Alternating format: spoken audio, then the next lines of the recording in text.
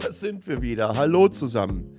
Vierte Ausgabe mittlerweile von Metacheles und die allererste, die ich dann auch auf YouTube übrigens ausspielen werde auf meinem Kanal. Und ihr könnt das auf YouTube gerade nicht sehen und auf der Podcast-Spur nicht hören. Neben mir sitzt im Grunde genommen der 5-Tonnen-Elefant unsichtbarer Art und Weise und den werden wir heute in dieser Ausgabe ansprechen. Das ist nämlich Elon Musk, äh, der jetzt mittlerweile größter Shareholder von Twitter ist und auch im Vorstand sitzt und was das bedeutet und warum ich erstmal eine Twitter-Pause brauche. Aber wir legen natürlich los mit den Artikeln der Woche. Mit Liebe kuratiert aus dem Herzen Taiwans, äh, Taipei City. Okay, wenn das Herz äh, nordwestlich liegt, würde das passen. Je nachdem, wie man das dreht, passt das dann ja auch zum menschlichen Körper oder zur Anatomie. Äh, ganz klar die News der Woche. Der Weltklimarat hat den neuen IPCC-Bericht hinausgebracht und äh, die Zeit titelt Aufruf zur Revolution, denn es gibt eine ganze Menge Fortschritte. Also ich möchte das nicht komplett pessimistisch, pessimistisch aufladen, äh, denn die sagen, dass es tut sich was. Und auch technologisch gesehen tut sich eine ganze Menge. Aber wir brauchen einen systemischen Wandel, um die Klimakatastrophe abwenden zu können. Das heißt also, dass aktuell das 1,5 Grad Ziel außer Reichweite ist. Und man hört das auch oft in Medien, auch bei Politikerinnen und Politikern, dass dann immer mal wieder über das 2 Grad Ziel gesprochen wird. Bullshit, nein. Wir müssen uns darauf konzentrieren. Die Zeit fasst das wunderbar zusammen, verlinkt im Newsletter. Photovoltaikboom. Es gibt eine riesige Nachfrage nach Solaranlagen. Das hat natürlich eine ganze Menge damit auch zu tun, dass wir stark gestiegene Energiepreise aufgrund des Angriffskrieges, den Russland in der Ukraine führt. Äh, mehr und mehr Hausbesitzer wollen eine Photovoltaikanlage auf ihrem Dach haben und entsprechend lange Wartelisten gibt es da.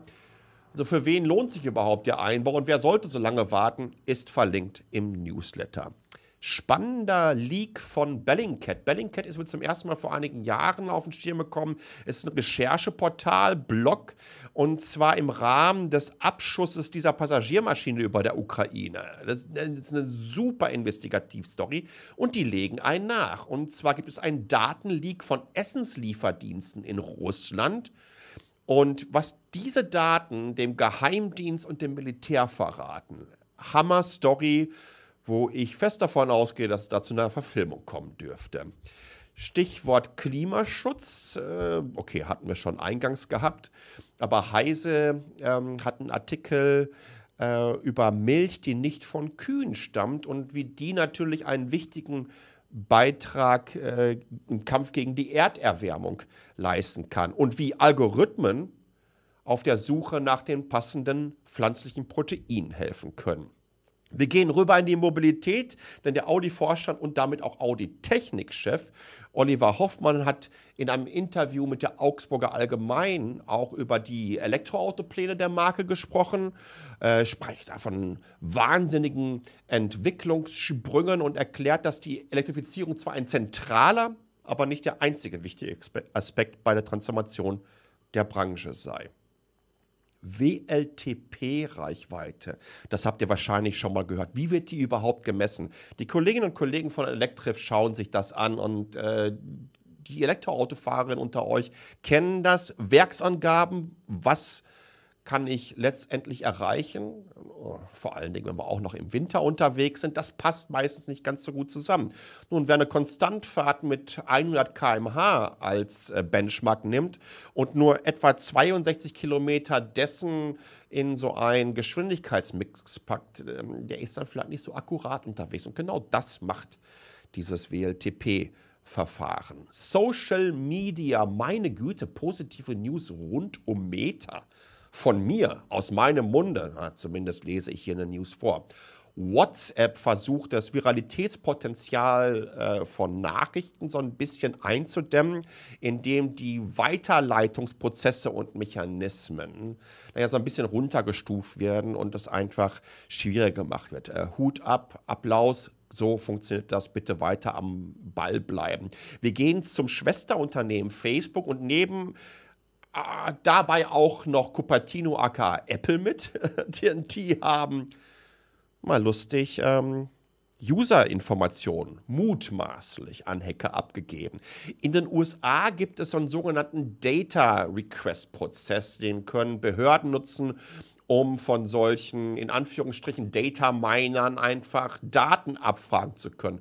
Naja, das haben sich dann auch ein paar lustige Hacker gedacht. Die haben das Dokument gefaked für diesen Data Request und angeblich haben Apple und Facebook dann Daten rausgegeben. Ups. Nochmal kurz Mobilität, aber wir bleiben in den USA. Waymo, das ist die Tochterfirma von Alphabet und damit Schwesterfirma von Google, also Tochter-Schwesterfirma, habe ich jetzt richtig gut raus. Ähm, die testen seit Jahren schon äh, Roboter-Taxis in Arizona. Jetzt kommen die nach San Francisco im Moment nur für die Google-Angestellten. Ich weiß auch nicht, ob das jetzt nur im Stadtgebiet stattfindet. Da ist unter anderem auch GM schon sehr erfolgreich unterwegs. Äh, aber ich finde es extrem spannend. Äh, ich hatte mal das Glück gehabt, in diesem allerersten Robotaxi von Google, was ja so ein bisschen aussah wie so ein Knuddelauto, fahren zu dürfen auf einer Google I.O. Boah, meine Güte, vor acht Jahren oder so schon. Ähm, und das ist wirklich spannend, was die da machen. Und last but not least, Riesenlob an Samsung. Denn dieses klassische Make, Take, Break and Throw Away System, in dem wir leben, ähm, Samsung versucht sich auch ein bisschen in Richtung Reparierbarkeit zu positionieren. Das heißt, euch werden Anleitungen, Tools und Komponenten zur Verfügung gestellt, falls ihr euch befähigt seht, euer Tablet, euer Smartphone selber reparieren zu können und zu wollen und zu müssen oder wie auch immer. Tatsache ist, können dann dadurch unabhängige Shops und Repair-Shops auch da einfacher rangehen und das hilft, die Nachhaltigkeitsideen, die wir brauchen in unserer Gesellschaft, besser umzusetzen. Infografik der Woche. In dieser Woche ist es die reichsten Menschen auf diesem Planeten. Das ist richtig krank. Die zehn reichsten Menschen auf diesem Planeten haben ein Vermögen von 1,2 Billionen Euro. Das entspricht 1,4 Prozent der Weltwirtschaft oder in etwa der Marktkapitalisierung von Amazon. Oder aber ihr könnt eine Million Euro am Tag auf den Kopf hauen für die nächsten 3000 Jahre. What the fuck? Übrigens hat sich das, unter, äh, das Vermögen dieser zehn reichsten Menschen seit 2020 verdoppelt. Äh, ich da, da möchtest du ja fast ein Eat the Witch Shirt anziehen. Ah, PR-Win und PR-Fail der Woche. PR-Win geht ganz klar an Armin Laschet. Der ist während des Bundestagswahlkampfs in das ein oder andere Fettnäpfchen getreten und ich habe auch mal immer polemisch nachgetreten. Was er jetzt für einen Tweet rausgehauen hat, das finde ich extrem versöhnlich und das tut gut. Er sagt da, wenn der Stil von Robert Habeck zur politischen Kultur in Deutschland wird, pro und contra abwägend, nachdenkend, gegen populistische und moralisch überhebliche Einfachlösung, dann stehen wir wirklich vor einer Zeitenwende. Es wäre gut für das Land.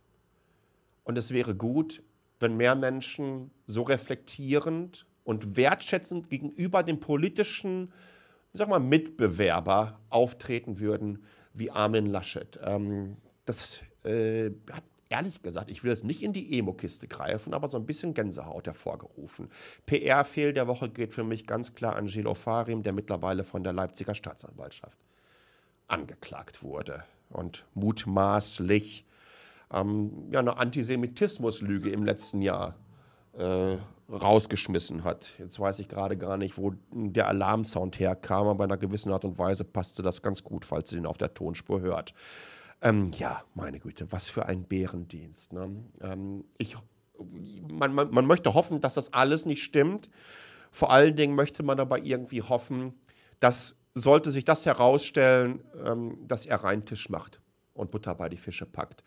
Äh, Social Media habe ich noch ein bisschen was zu Klima vor Acht, die ein neues Buch rausgebracht haben. Depths auf Wikipedia, großartiger Kanal auf Instagram ähm, und dann nochmal eine Ehrerbietung Richtung der goldenen Blocker. Äh, äh, Blocker ist auch schön. Der goldene Blogger, die für mich maßgeblich die deutsche Netzkultur mitbestimmt haben. Und da gibt es auch noch eine App der Woche, einen Background Remover für die Leute, die jetzt nicht unbedingt Photoshop Philipp oder Agnes sind und mal einfach Hintergründe austauschen wollen. Im Web und kostenlos. Und jetzt kommen wir zu dem Elefanten im Raum. Ich werde gar nicht so sehr auf die Entwicklung der letzten zwei, drei Wochen eingehen wollen. Dazu schreibe ich euch mehr in meinem Text, in dem Newsletter selber. Aber ich erzähle euch, warum ich eine Twitter-Pause brauche. Und die meisten von euch wissen es ja, dass ich jetzt nicht unbedingt der Busenfreund von Elon Musk bin äh, und äh, durchaus meine Probleme mit ihm habe. Äh, darum geht es nicht. Es geht ja nicht um Tesla.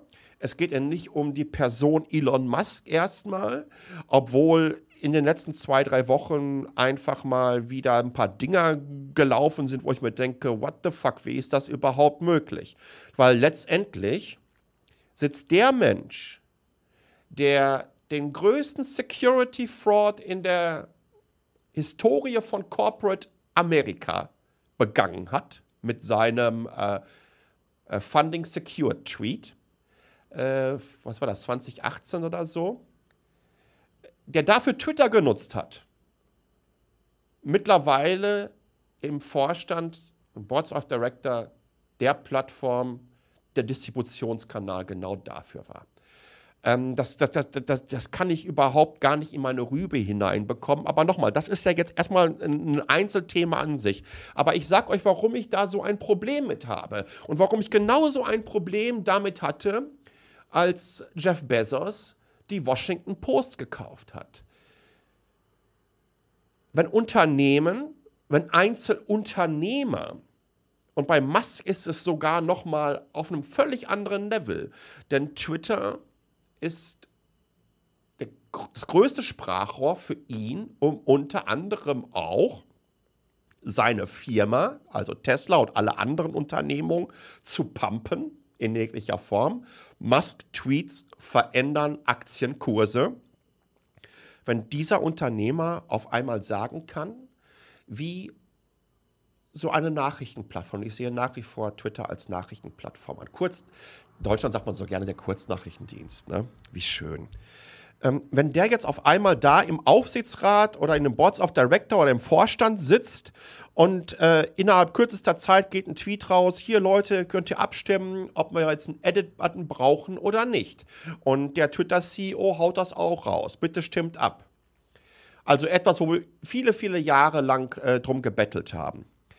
Ähm, ich möchte gar nicht wissen, wie das für Twitter geschmeckt hat. Denn diese Lobpreisungen, die vom Twitter-CEO und auch vom Gründer Jack Dorsey äh, rausgegangen sind, ich halte die für komplett fake. Weil Elon Musk in Boards of Director zu holen, hat vor allen Dingen auch einen Grund, weil damit kann er maximal 15% Anteile an diesem Unternehmen übernehmen, also damit nicht Mehrheitsanteilseigner äh, werden und komplette Kontrolle übernehmen ähm, und das ist jetzt, glaube ich, auf 2024 oder so begrenzt, äh, diese Geschichte. Das heißt, er wird dann irgendwie bei seinen 9% oder fast 10%, die er im Moment hat, äh, äh, da rumschwirren. Hat aber selber gesagt und übrigens auch in dem Filing, ähm, äh, Passive Stakeholder zu sein. Ähm, übrigens das Filing viel zu spät eingereicht. Wird er dann halt von der Finanzaufsichtsbehörde mal ein paar hunderttausend äh, bezahlen können. Er dürfte weiterhin reichster Mann der Welt sein oder Mensch der Welt überhaupt. Ähm, also dieser Mensch hat auf einmal Einfluss auf eine Plattform die äh, Freedom of Speech propagiert, die ähm, naja, eine entsprechende Unabhängigkeit darstellen muss. Und er ist nun mal ein Unternehmer. Wie kann Twitter in Zukunft unabhängig sein, wenn es zum Beispiel darum geht, ähm, auch Kritik an so einem Unternehmen üben zu können? Wie wird er mit Kritikern, Whistleblowern äh, umgehen. Und da hat Elon Musk und Tesla, die haben da eine sehr, sehr lange Geschichte diesbezüglich. Ne? Ähm, ich denke mal, ähm, die Sache mit Hoti, also Skabuschka äh, nannte der sich auf Twitter, ähm, der Sachen äh, gefilmt hat und, und, und, und, sich wirklich wahnsinnigen Shitstorm eingefangen und Hate-Storms eingefangen hat, äh, die Elon Musk unter anderem mit losgetreten hat. Ähm, der hat mit seinen fast 80 Millionen Followern natürlich einfach auch eine Riesenmacht. Und jetzt ist er auf dieser Plattform die de facto eigentlich der fundamentalste Nachrichtendienst der Welt ist. Und damit habe ich ein Problem. Und da müssen wir uns Gedanken drüber machen. Es geht nicht darum, hier ein Elon Musk-Bashing zu fahren und zu sagen, ey, mir geht Tesla auf den Sack, mir geht der Typ sowieso auf den Sack. Das ist nicht so. Mir geht es auf den Sack, dass es Menschen auf diesem Planeten gibt, die so viel Geld angehäuft haben und mittlerweile die Möglichkeit haben, Mediendistributionskanäle, globale Mediendistributionskanäle lenken zu können damit. Und vorher auch noch zu sagen, sie wären einfach nur ein Passive Stakeholder darin. Das ist mein Problem mit Elon Musk und Twitter.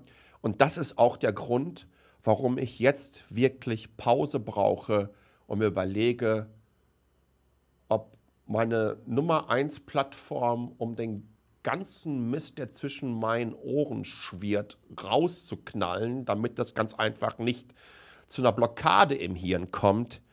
Ich glaube, ich habe über 120 Tweets, 120.000 Tweets, das wäre auch keinem normal denkenden Menschen erklären, sowas äh, da, äh, da rausgepackt.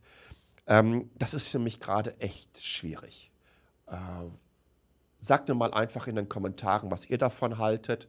Übrigens bitte jetzt nicht auf Twitter, weil da brauche ich entsprechend die Pause. Auf LinkedIn, YouTube ähm, äh, und Instagram bin ich nach wie vor unterwegs. Im Newsletter selber findet ihr auch einen Link. Ihr könnt mir sogar auf WhatsApp Nachrichten schicken. Aber unterhalb des Newsletters auf metacheles.de könnt ihr entsprechende Kommentare reinpacken und natürlich auch auf YouTube. Ähm, ich würde mich freuen. Ähm, ich hoffe, dass wir eine gesittete Diskussion haben können, ähm, dass ich subjektiv bin, nie objektiv sein kann, glaube ich. Das schaffe ich einfach nicht mehr. Sorry, aber zumindest ist es dann ehrlich und ihr wisst, äh, woran ihr seid bei mir. Das dürfte klar sein. Aber lasst uns, lasst uns sachlich bleiben und lasst uns nicht gegenseitig auf die Füße treten wollen weil das betrifft nicht ähm, eine Automotive-Blase, eine äh, Elon Musk ist toll, Elon Musk ist doof Blase, sondern das betrifft Medien und Gesellschaften. Und darum geht es mir hier. In diesem Sinne, ähm, falls ihr über Apple zuhört, würde ich mich freuen, wenn ihr eine Bewertung da lasst und mir einen Thumbs up gebt. Und, und äh, wenn euch das gefallen hat, dann teilt diesen Podcast doch einfach weiter. Mir macht das nach wie vor wahnsinnig Spaß. Jetzt habe ich ja ein bisschen mehr Zeit mit meiner Twitter-Pause. In diesem Sinne, danke für alle euren Support, bleibt gesund und bis zum nächsten Mal.